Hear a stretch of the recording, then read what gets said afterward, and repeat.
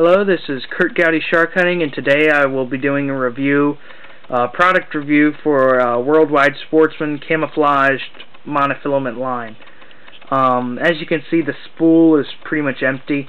It's because I've used it a lot. I have it on my 750 SSM and my Penn Squidder. Um, it's a pretty good line. Actually, I like it. Uh, it's um, it's low memory, kinda. I mean, it's not low, low memory, something like Stren monofilament. It's not as low as Stren Clear Blue or uh, Stren, Stren Original, but it is pretty low, and uh, it casts really well. The only thing I don't like about the line is that it's not very abrasion resistant. Um, it gets abrased pretty quickly. I mean, if you're going off and you have a lot of abrasion, such as docks and uh, you got uh, rocks, that kind of stuff, the rocks underneath you, and you're going to be scraping along those for a while, uh, this is not the line to use.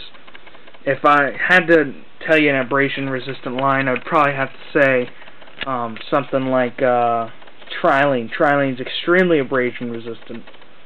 Um, but this line is pretty good. Camo line is the only time I ever use it is uh, in really murky water, which back in the creeks that I fish for stripers and stuff, the water is extremely murky at times. Sometimes it's really clear, sometimes it's really murky.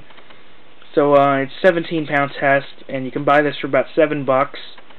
Only at Bass Pro Shops though, and Worldwide Sportsman, which are both the same thing, but you get what I'm getting at. Um, and uh, it's pretty much their name brand fishing line, which a lot of times when you buy name brand fishing line from big manufacturers such as Bass Pro, it's never a lot of times it's not going to be a really good line.